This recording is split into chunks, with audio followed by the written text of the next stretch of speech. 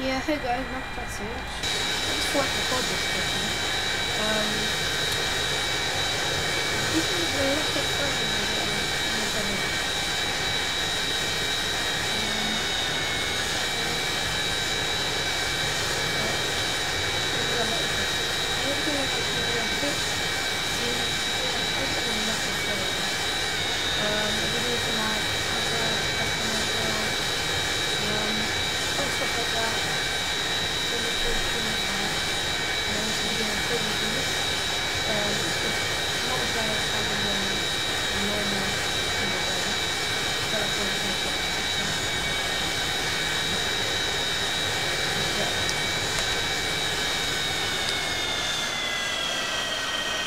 virgin doesn't give any sense.